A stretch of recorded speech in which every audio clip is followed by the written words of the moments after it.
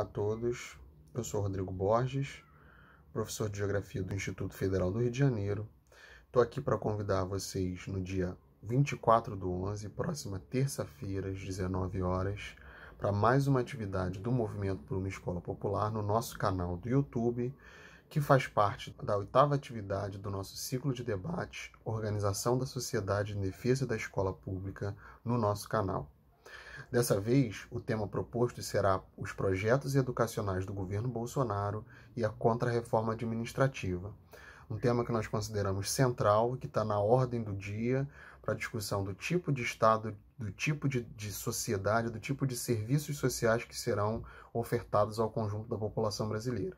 Então, para fazer essa discussão, nós convidamos a professora Sônia Lobo, do IFC, e o professor Fábio Bezerra, do Cefet Minas. Então, lembrando que na próxima terça-feira, dia 24 do 11 às 19 horas, no nosso canal do MEP Sinazef.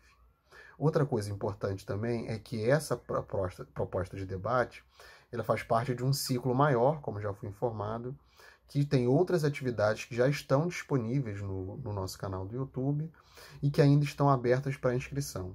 Então, caso vocês tenham interesse nos debates ou que tenham interesse na inscrição, acessem o link que está no canal, no, no, no, canal, na descrição do vídeo, e também procurem informações através dos nossos canais oficiais para que vocês participem, para que vocês colaborem e para que vocês se organizem em defesa da escola pública e dos serviços públicos e sociais para toda a população brasileira.